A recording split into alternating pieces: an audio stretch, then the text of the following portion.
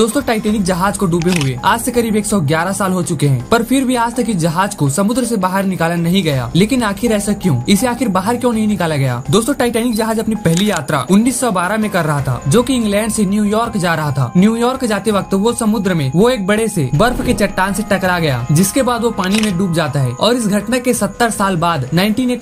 में इस जहाज का पानी के नीचे पता लगाया जाता है जो की समुद्र के करीब चार किलोमीटर अंदर गहराई आरोप पड़ा हुआ था और इतनी गहराई में पानी का टेम्परेचर वन डिग्री सेल्सियस तक होता है और ऊपर से वहाँ पर बहुत ही ज्यादा अंधेरा होता है और ऐसी जगह से इतनी बड़ी जहाज को निकालना बहुत ही ज्यादा मुश्किल होता है यहाँ पर एक्सपर्ट्स का मानना है की ये जहाज आने वाले बीस ऐसी तीस साल में अपने आप ही पूरा नष्ट हो जाएगा और नष्ट होकर पूरी तरह खत्म हो जाएगा बाकी ऐसी और वीडियो देखने तो चैनल को सब्सक्राइब जरूर कर ले